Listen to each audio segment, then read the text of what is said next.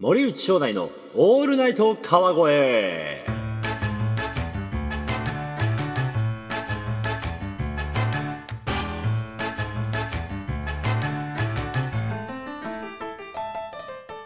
こんばんは、ミュージカル俳優の森内正代です。本日6月22日の26時でございます。皆様27時まで1時間、最後までお付き合いください。ということで、突然ですが、今回の放送から初の試みとして、ハッシュタグを使ってみようと思います。えー森内正代のオールナイト川越の感想やお便り、えー楽曲リクエストを Twitter のハッシュタグでも募集してみようと思います。今まで通りフォームや DM でももちろん受け付けておりますが、えー今回のこのハッシュタグはですね、ハッシュタグ森内正代のオールナイト川越をつけてつぶやいていただけたらと思います。このオールナイト川越はですね、カタカナでございますね。本文にお便りとか楽曲リクエストとか感想とかを明確に書いていただけるとツイートを見つけやすいでございます。よろしくお願いします。楽曲リクエストの場合は本文に曲のタイトルと歌手名、もしミュージカルだったら、えー曲名と作品名をお願いしたいと思います。うん、そういったね、あの、ハッシュタグを使っていろいろとお便り送ってみようというやつは、詳しくは、えー、公式のツイッターにも記載しておりますので、ぜひご覧いただければと思います。よろしくお願いいたします。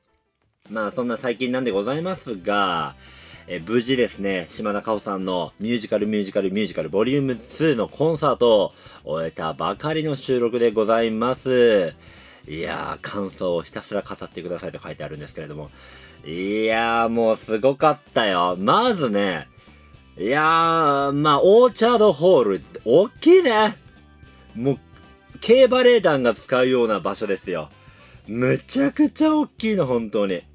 いや、もう、初めて僕使わせていただいて、いやまさか島田佳穂さんに呼んでいただけるコンサートでこんなでかいところでできるなんてて、す、で、しかも、あのー、ウエストサイドストーリーが IHI シアターで、あそこの劇場もとんでもない、世界に2つしかない劇場ですからね。で、やらせていただいた1年ちょっと越しで、またオーチャードでやらせていただけるなんて、もう光栄の極みでございました。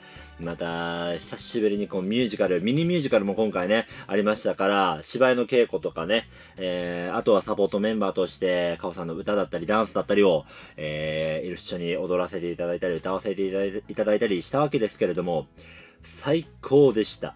久しぶりのこの2週間、濃密な2週間、稽古時間もたくさん取っていただいて、んで、いろいろボリューミーな内容をですね、覚えて、いやー、本当に面白かったな。で、サークルオブライフとかもね、あのー、カホさんが歌われたサポートメンバーは後ろでインゴニアマネンゴエナマバーラやったんですけれども、あのー、ずっと出演しててね、あのー、6、えっ、と、歌い手の枠がありまして、えーその歌い手の枠がですね、サークルオブライフの中で、バイエーテダブズテコンセプコース、スヤバンガバババイエーテって歌う言うんですよ。あの、王の中の王よというね、あの、ズール語をですね、王様に捧げる神官みたいな役があるんですけれども、その、ずっと憧れてた言葉をですね、ちょっとね、あの、今回のコンサートの尺がちょっと短かった、あの、感想の尺が短かったんで、ちょっとだけカットバージョンだったんですけれども、ちょっと僕自身でそのカットを作って、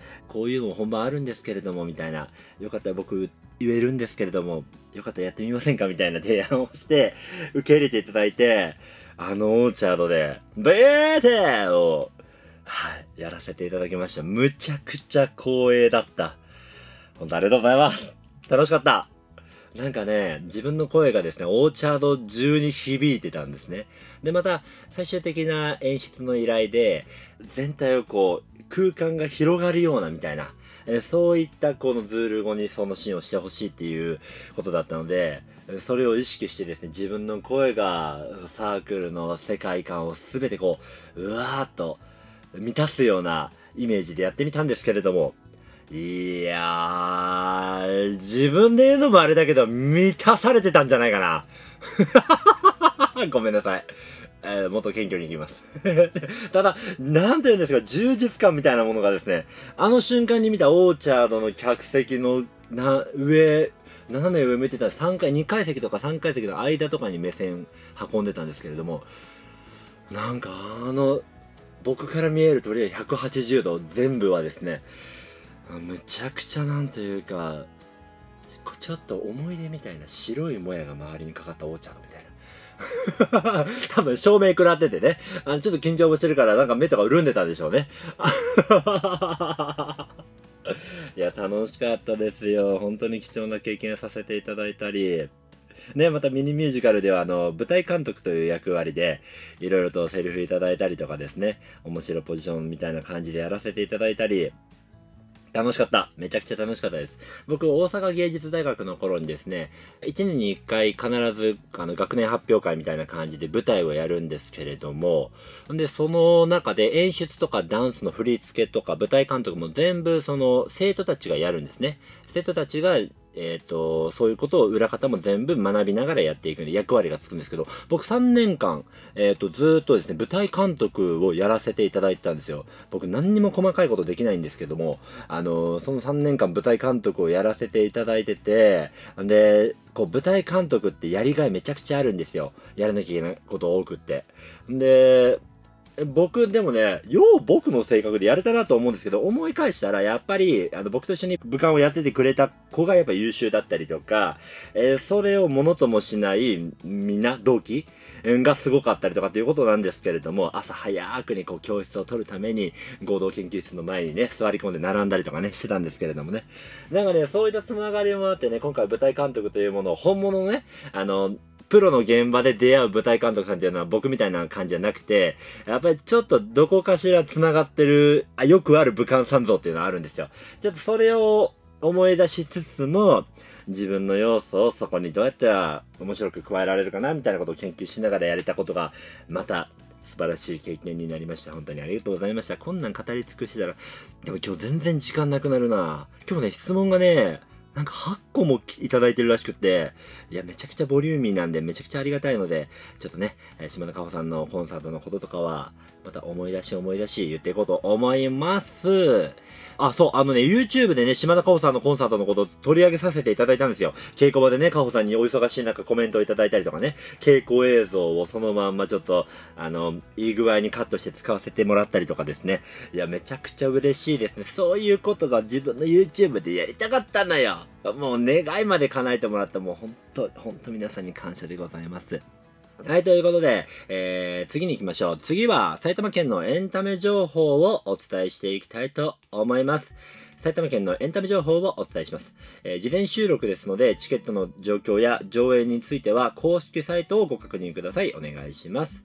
えー、まず、6月25日金曜日18時半開演で、高嶋ちさ子わがまま音楽会ピアノクインテット編が羽生市産業文化ホール大ホールにて公演されます。バイオリニストでバラエティ番組でも大活躍中の高嶋ちさ子さんのコンサートです。はい、続いて、6月27日日曜日、13時半開演で、春風亭一之輔のどっさり回るぜ2021落語で全国ツアーボリューム9が四季市民会館パルシティにて公演されます。春風亭一丁師匠に入門して11年、並みいる先輩、話家21人を抜いて、柳家小三治会長に大抜擢され、真打ち昇進を果たす。講座姿の綺麗さと、その功績の爽やかさが魅力の、今最も注目されている新進気鋭の話家さんだそうです。すごい方ですね。すごい方ですね。見える方をごぼう抜きして真打ち昇進。うわ、これお話家が好きな方は、ぜひ見に行っていただきたいと思います。はい、続きまして、6月29日火曜日19時開演、辻井信之プレミアムリサイタル2021ショパンエチュードが川口総合文化センターリリア4階音楽ホールにて公演されます。全盲のピアニスト辻信之さんのプレミアムリサイタルです。プレミアムリサイタル2021では、別れの曲、革命、国権のエチュードをはじめ、誰もが知っている名曲の数々に彩られた、ショパンのピアノ作品の中で最も人気の高いエチュードの連続演奏にチャレンジします。海外でも大活躍中の辻井信之さんは現在32歳。お同い年ええー、すげえな全日本盲学生音楽コンクールを優勝し、2009年にはバンクライバーン国際ピアノコンクールというアメリカのピアノコンクールで日本人で初めて優勝した。2011年にはカーネギーホールでリサイタルを行っているそうです。すごい、なんか全然音楽知らないですけど、ピアノの曲とか、ねちょっとその、ショパンとか全然申し訳ない、わかんないんですけれども、この文章を見る限りむちゃくちゃすごいことが行われそうでございます。すごいな、しかも同い年。うわー、ちょっとこういう世界を僕も知った方がいいんだろうな。プロのね、なんと言いますか、ピアノ、あの、全然違う話ですけど、稽古場とかでね、あの、稽古場付きのピアノ、ピアニストさんがいらっしゃるんですよ。いや、もう、そ、そのピアニストさんですら、ものすごいんですけど、指さばきよ、横からね、あの、な、はけ口にいる時とか、はけてきた時とか、ちょっと静かに、あの、センターで芝居してますから、ちょっと静かにしなきゃいけない時とかに、ちょっとふっと左を見るとですね、ピアノが流れてるわけですね。で、ピアノ打たれてるんですけど、そのピアノに目いっちゃって、芝居に目いかない時、時々あるもん。ものすごいんですよ。いや、稽古場ピアノさんすごいなと思って。で、またオーケストラが入った時のピアニストさんなんてもうとんでもないですよ。いやー、まあ、なんていうか、そ、そ、その最たるものじゃないですか、きっと。いやー、これ興味ある方、ぜひ見に行ってください。よろしくお願いします。はい、ということで、埼玉県内のエンタメ情報は小さいものから大きなものまで何でもご紹介していきます。エンタメ情報も随時募集しておりますので、お便りのフォームからぜひ教えてくださいね。よろしくお願いいたします。てなわけで、いつものお便りのコーナー行ってみましょう。今回もたくさんお便りをいただきました。中からえりすぐりのお便りを読んでいこうと思います。森内正代のオールナイト川越公式ツイッターにてお便りや質問、リクエストを随時募集しております。専用フォームやツイッターの DM にてお送りください。募集ツイートへのリプライでも、ハッシュタグを使っての投稿でも OK です。ハッシュタグ、森内正代のオールナイト川越、オールナイト川越はカタカナでございますをつけてツイートしてください。詳しくは公式ツイッターにてご覧ください。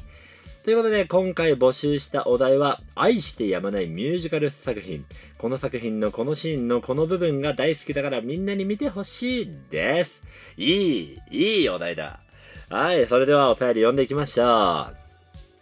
愛してやまない作品はたくさんありすぎるのですが、その中から正代さんもかつて出演されていて、6月12日に大井町での千秋楽を迎えるライオンキングについて語ります。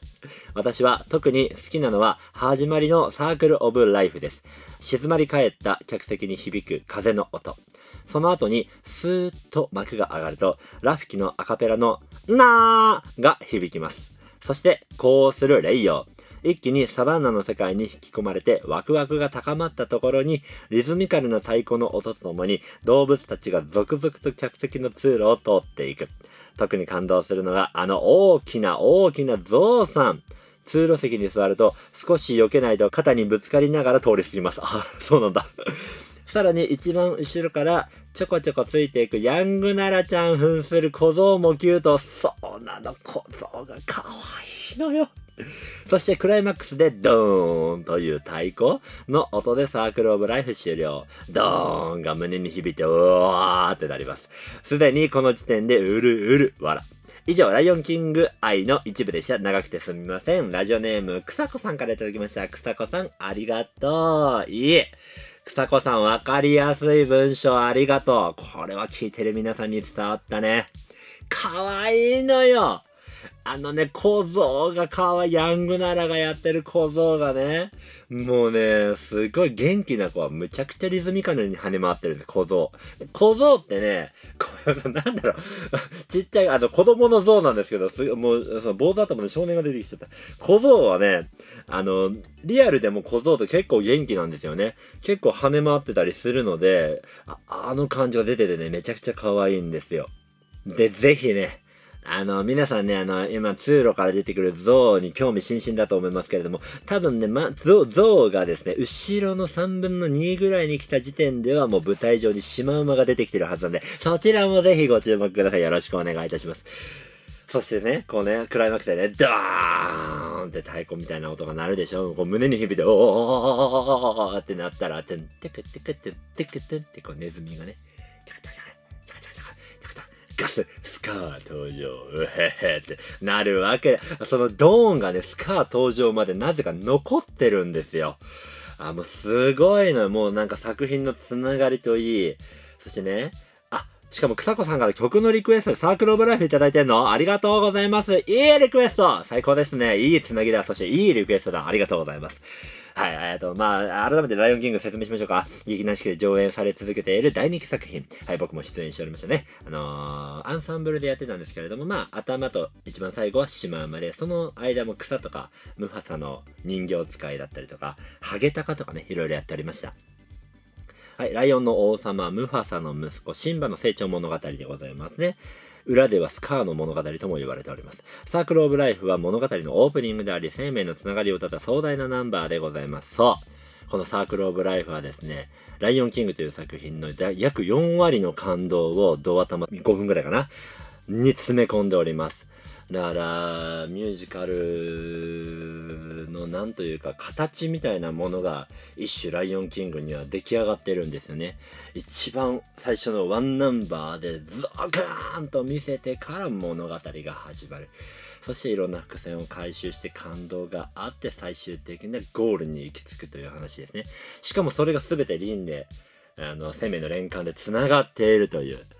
すごいです。最終的にはそのね、あの生まれた子供が王様になって、子供が生まれると同じ情景だけど、一周回っているという、こもう最高の作りですよね。本当にすごい。本当にすごい。それではお聴きいただきます。サークル・オブ・ライフ。ライオンキングよりサークル・オブ・ライフをお聴きいただきました。うん。やっぱすごいね。ちょっと CD だとあの、頭のメロディーのリズムちょっとゆっくりだったんですね。はい。えっと、そしてラジオネーム、草子さんから今後やってみてほしい YouTube 企画の欄に、ぶらり途中下車の旅みたいなものをぜひやりたいやりたいやりたいえ？え？え？正代さんが？どんなお店や風景に興味を持つのか、どんな視点でレポするのか興味深いです。あ、やってみたいね。これね、やりたいのよ。あ、何？あと、ひまちゃんの可愛い場面やお茶目な場面の動画と書いております。なるほどね。ありがとうございます。あのね、これね、あの、めっちゃやりたいのよ。あの、ぶらり途中下車めっちゃやりたいです。しかも、ちょっと、盛り上げる自信ある。新しいもの、新しい街並み、僕大好きなのであ、興味持つことがたくさんあるから、興味が多いとね、多分ね、何でもかんでも喋ると思うし、あの、自分にしか理解できないような独特な観点からの独特なコメントが出てくると思います。あとね、その、皆さんごめんなさいね、リスナーさんの方で知らない方もいらっしゃると思うんですけれども、ひまちゃん。ひまちゃんというのはですね、僕が今飼っております、ハリネズミでございますね。今は、えっと、2歳になったのかな ?3 歳かな？そうなんでございます。ハリネズミちゃんを今飼っておりましひまちゃんと言います。ひまわりでございますね。正式名称ひまわりで、通称ひまちゃんでございます。ひまちゃんの可愛い動画でしょ？撮ってあげたいよね。動画はいっぱいあるのよ。いっぱいあるからね、そのうち出したいなと思うので、ひまのチャンネル作りますか？ははは かわいいのよ。あのね、歩いてる姿の後ろ足がですね、内股なの。これ四つ足動物って結構こうなんだけど、内股なのかわいいのよ。またハムちゃんと違ってね、大きいの、基本的に。うん。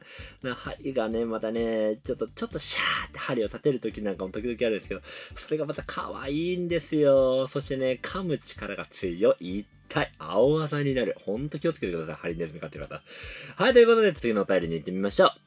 はい。私の推しミュージカル作品は、ロボット・イン・ザ・ガーデンです。とにかく、タングがキュート。パペットなのに、目の表情がやばいです。デザインしたトビー・オリエさんは本当に天才。ストーリーも色々な愛に溢れていてめちゃくちゃ素敵です。さらにキャストさんのクオリティがすごい。歌、ダンス、演技のどれをとっても素晴らしい。年末に東京で再演があるので、今から楽しみです。初代さんもみこしも、ぜひ見に行ってください。ラジオネーム、アンディさんから頂きました。アンディさん、ありがとうございます。みこしというのはね、うちのマネージャーでございます。妻でございますね。はい、ありがとうございます。えー、ロボットインザガーデンね、いいね。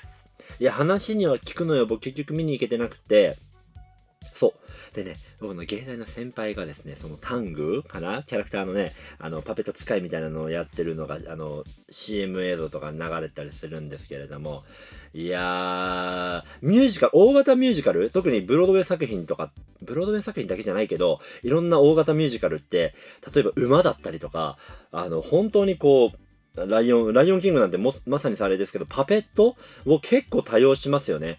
あのー、ファインディングニモとかももうパペットだけでやってたりするし、すごいよね。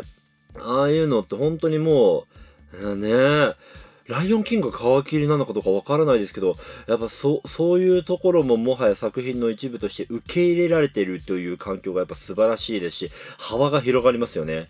で、またパペットが一長一短にできるものじゃないじゃないですか。だって僕がやってたシマウマなんて、ねえ、値段、やばい、やばいっすよ。超高級素材でできてますからね、あれ。軽いのに強いっていう。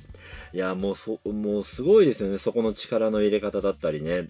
そこだけで感動できますよね。しかもロボット映画側で本当に皆さんが感動して帰ってくるっていうお話ばっかり聞くので、ぜひ見に行ってみたい。ちょっとチャンスかかって行ってみたいと思います。アンディさんありがとうございます。はい、続いて参りましょう。正代さんこんばんは、こんばんは。私が大好きなミュージカルは、マイ・フェア・レディです。映画より断然舞台派です。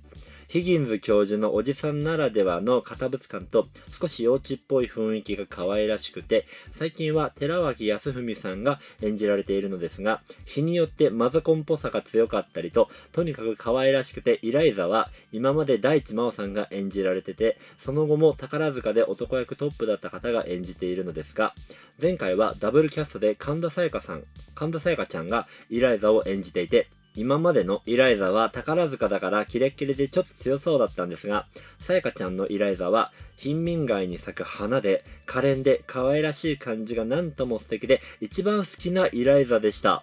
フレディはちょっとボンボンでなよなよしているのを演じられる俳優さんによって表現の仕方が少しずつ違ったりと本当に大好きです。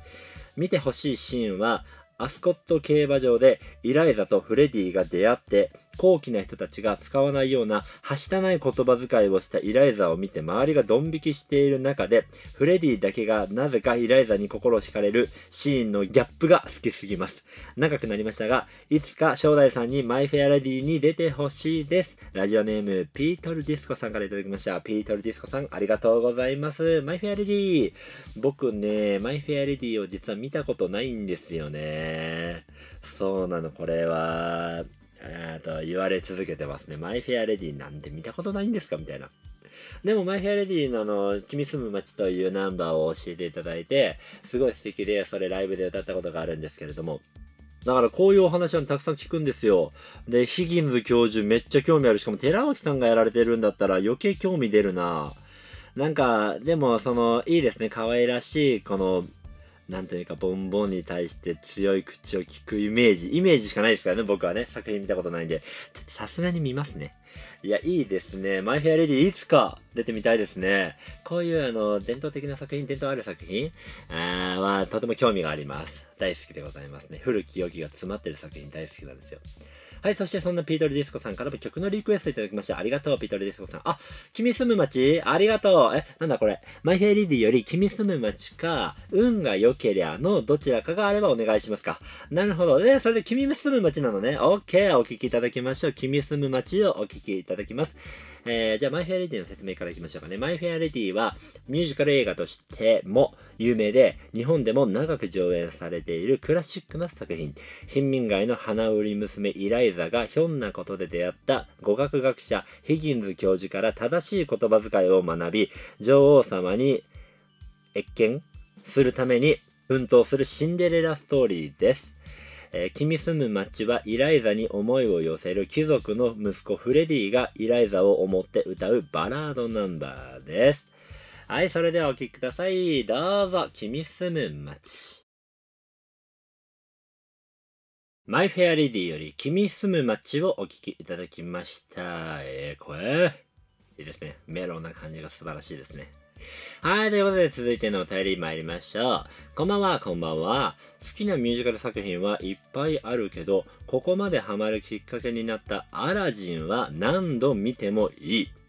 好きなところはやはりえ日時の煩わしさをぶっ飛ばしてくれるキラキラの非日常の世界観とその時アラジンやってた北村勝さんの笑顔ですあと作品に少しでも関われるとさらにハマりますレミゼのど自慢で盛り上げ役で合唱参加できたりつい先日東京公演千秋楽迎えて全国ツアー中のセブンティーンアゲインで演出でコメント採用されたりするととっても嬉しいです。えー、溢れ出るアラジン愛は書ききれないほどあるんですが、新橋勤務時は仕事帰りに通いていたので暇あれば見に行けてました。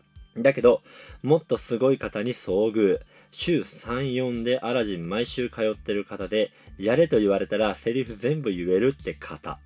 そこまでいかなくても、ハマってる方は多い作品だと思います。ラジオネームチョコさんから頂きました。チョコさんありがとうございます。アラジンは素晴らしいよ。やっぱりね、あの、リトル・マーメイドもいいですし、まあ、それまでに上演されてライオン・キング、アイーダ、美女と野獣、どれも素晴らしいです。やっぱでもね、量がしてくるよね、アラジンはね。なんかもう、ライオンキングはライオンキングなりの道があるじゃないですか。超ロングランというね。んで、あの、アイーダがまたいいんですよ。アイーダのロングコート着たい。で、美女と野獣なんて最高でしょ美女と野獣もやっぱやばいけど、で、リトル・マーメイドでこう、なんか、なんというか素直な気持ちになった上でのライ、あのアラジンですよ。いやー、やっぱ素晴らしかったね。アラジンはやっぱ期待を裏切らないというか、なんだろう、二重丸の作品ですよって教えられて花丸見た気分。ほんと、二重丸の花丸見た気分。そんな気持ちにさせてくれる安定感と、うん、やっぱ素晴らしさとかありますよね。アラジンきっかけにミュージカル好きになってくれる人はむちゃくちゃ多いだろうね、きっとね。うん。気持ちわかるな。すごいね。しかも全部セリフ言える方って、あのー、演者よりもお客さんの中の人の方が、えー、劇団四季のこと知ってる人とか、内容知ってる人の方が多かったり、理解度深い人の方が多かったりしますよね。僕、お客さんから聞くんですよ。あそこで、あの子頑張ってたね、みたいな。あ、あいつ今あそこにいるんですか？みたいな。あ、北海道にいるんですか？みたいな。そう、情報通の方とかね、作品愛が深い方とかね、あの演者、演者よりオタクだったりしますからね、そのオタクの力に出会うとまた演者としては嬉しくなりますよね。みんなどんどんハマっていきましょう。はい、ということで次のお便りいきます。こんばんは、こんばんは。私が愛してやまないミュージカルはメリーポピンズです。いいね。もともとディズニー映画として大好きでしたが、シアターオーブで上演された時に見に行って、最高すぎてチケット取れるだけ取って見に行きました。私が一番好きなシーンはメリーポピンズが子供たちの前でカバンより大きな家具をカバンから取り出すシーンです。子供たちのリアクションと同じくらい私も心躍ります。あれはいい正代さんも見る側としての視点で、この作品のこのシーン胸熱だよねというのがあれば教えてください。ラジオネームロビンさんから頂きました。ロビンさんありがとう。えー、僕がメリーポピンズで、僕もね、見に行ってます、舞台を。それこそ島田加穂さんが出られた時に見に行ってるんですけれども、あのね、僕あれが好きだな。えっ、ー、と、まあ、えっ、ー、と、ほうきで屋根の上で踊るステッピンタイムも大好きなんですけれども、ステッピンタイムの途中だったかなあの、バートが、えー、タップシューズ履いて、壁登っていって、外枠、一番正面枠にある、え、これすげえ伝わりづらいんですけど、メリポピンズの舞台のセットって、えっ、ー、と、舞台の一番前側の、えー、が空いてる空間をですね、縁取ってるんですね。なんかかっこいい感じの枠みたいな、額縁みたいな感じで縁取ってるんですけど、そこをですね、えっ、ー、と、ドセンターから上手、えー、お客さんから見ると右側に歩いていって、ほんでその壁をですね、えー、あの、踏みながら登っていくんですね。ほんで逆さまになって、センターの上の真ん中まで行って、そこで確かタップ踏むんですよ。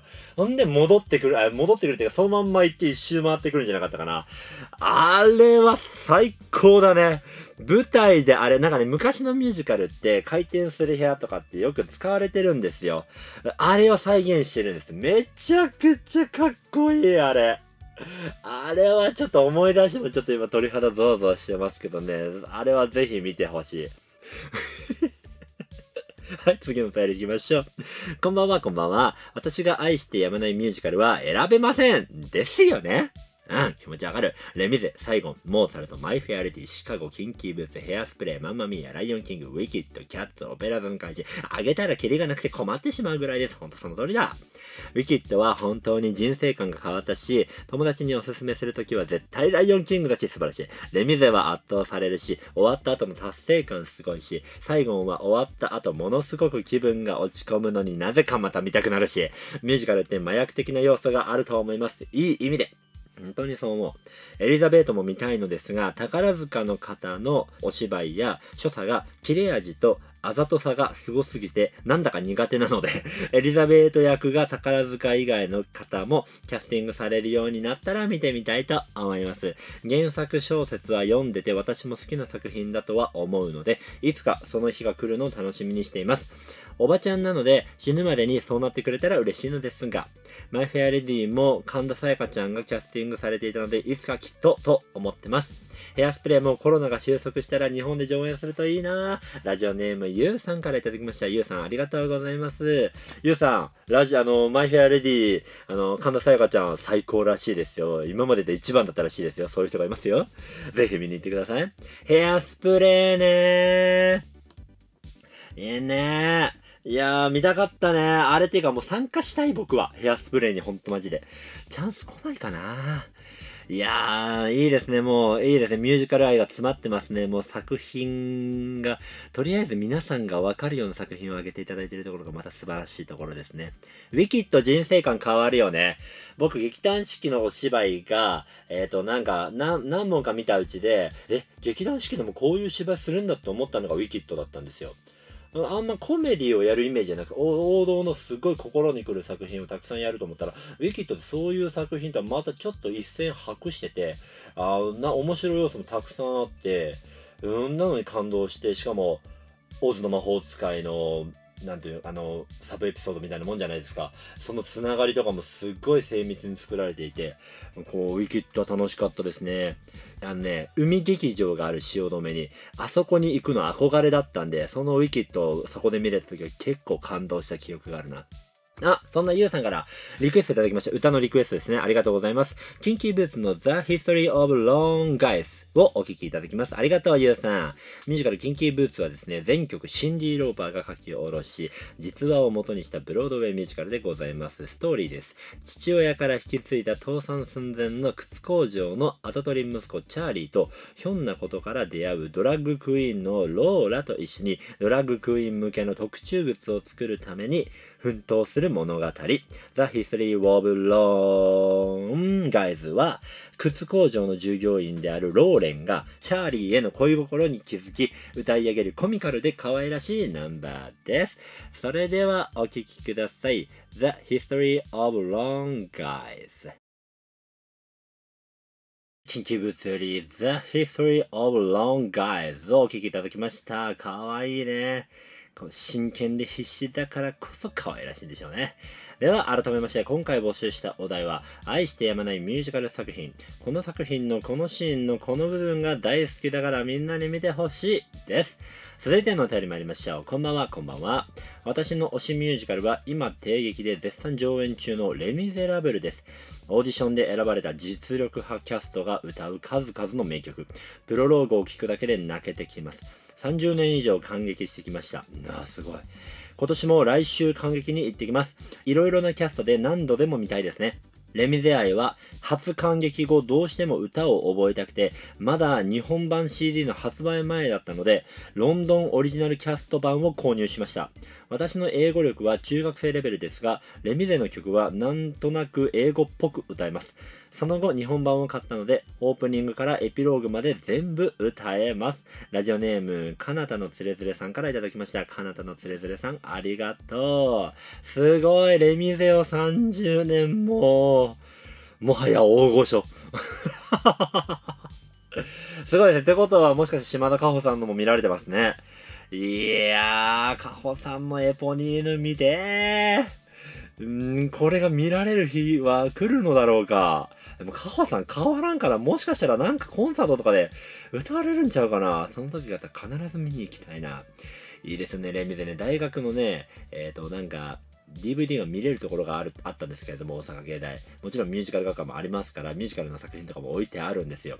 レ・ミゼラブルの、まあ、海外のですけど、25周年のコンサートのやつが DVD であって、もうそれをもう、めちゃくちゃ見てましたね。ほ超かっこいいんだわ。しかも今回、カホさんのコンサートで、ははん、ははんできたのはちょっと、ちょっと嬉しい。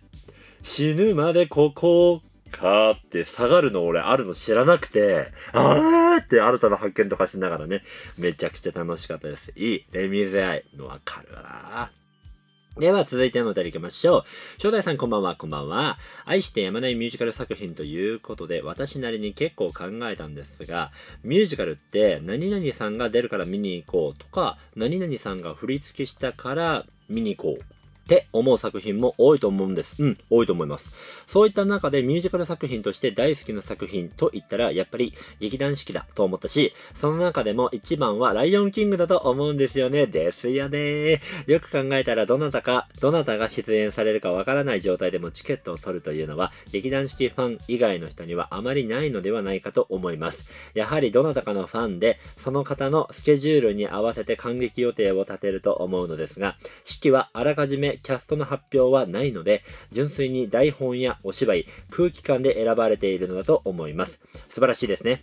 さて、私がライオンキングの中で大好きなシーンはたくさんありますが、やはり一幕の最初、プライドロックに動物たちが集結するところが一番感動します。大人も子供もみんなキラキラした目で通路や舞台の動物たちを見ていて、あ始まったとテンションが爆上がりするんです。コロナで自粛が明けた最初の感激では、このシーンだけで号泣でした。他にも、早く王様になりたい、覚悟しろの圧巻のハイエナダンス、2幕の始まり方にも毎回感動します。お前の中に生きているの時に、暗闇に浮かび上がるムファサの顔や、奈良と喧嘩した後、草たちも怒っているような仕草で、はけていくところ、細かいところで言ったらたくさんあるのですが、子供はもちろん大人もワクワクしながら見られる作品ですよね。子供でもわかりやすく笑えるところもあるので、うちの子も初めての感激はライオンキングでした。先日、大井町の四季劇場夏はファイナルを迎えましたが、有明でもまだまだロングラン公演を続けていってほしいなと思います。ラジオネームゆりさんからいただきました。ゆりさん、ありがとう。いやー、いいですね。ライオンキング最高よね。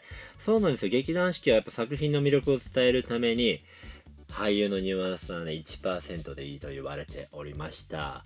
本当にね、作品の魅力を引き出すために役者がもう魂削って、その場に立つ、いて捨てて語るというね、本当にそれを徹底した劇団なので、いや、そうなんですよ。俳優で見に行くパターンじゃなく見る場合も多いですよね。やっぱ劇団四季のライオンキングというものを見に行くみたいな。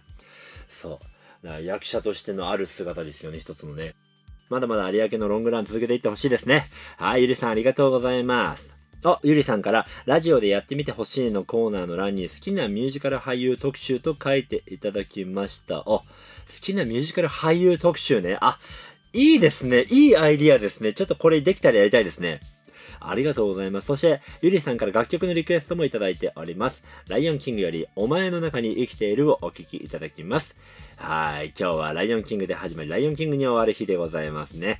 ライオンキングは劇団四季でも上演されている大人気ミュージカル。お前の中に生きているは、ライオンの王様ムファサが自分の息子に歴代の王様たちは死んでもなお、星になってお前を見守っていると伝えるシーンでございます。それではライオンキングより、お前の中に生きているです。どうぞ。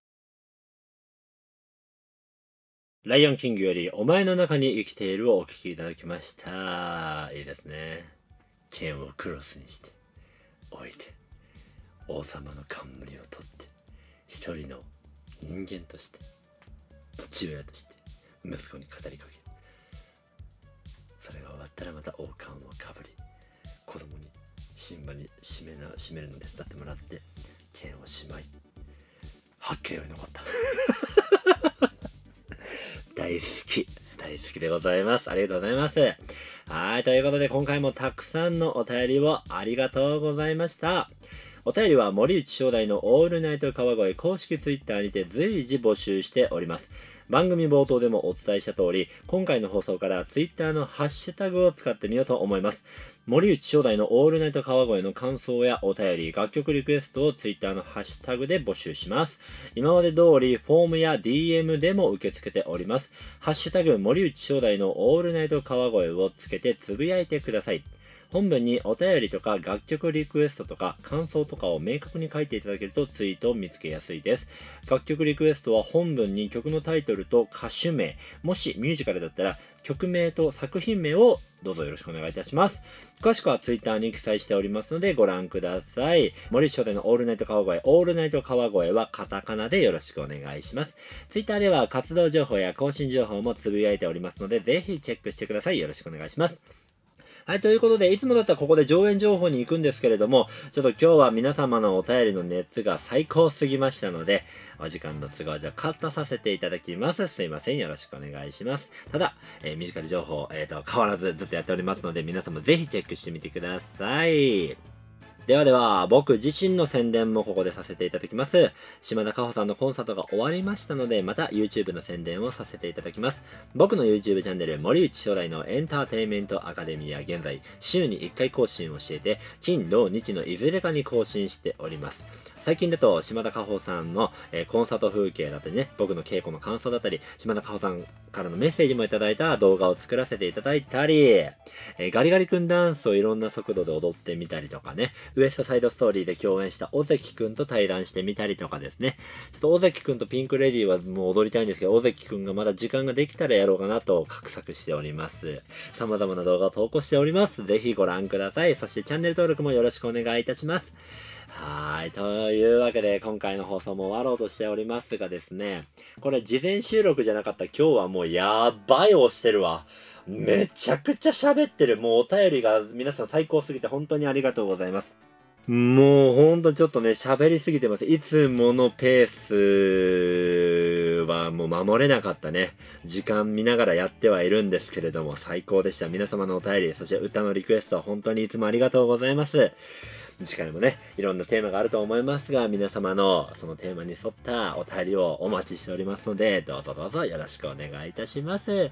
ということで、次回の放送は6月29日の26時から27時でございます。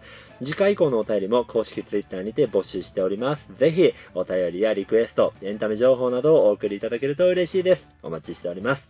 今回から Twitter のハッシュタグを活用してみようということで、お便りやリクエスト、そして感想をぜひ、ハッシュタグ、森内正代のカタカナでオールナイト川越を入れてツイートしてください。詳しくは公式 Twitter にてご覧ください。よろしくお願いいたします。はい。ではではまた次の放送も楽しいトーク満載でお送りしていきます。みんな、次回もお楽しまに。オーチャードホールに響き渡る声。本当に最高でした。カオさんお疲れ様でした。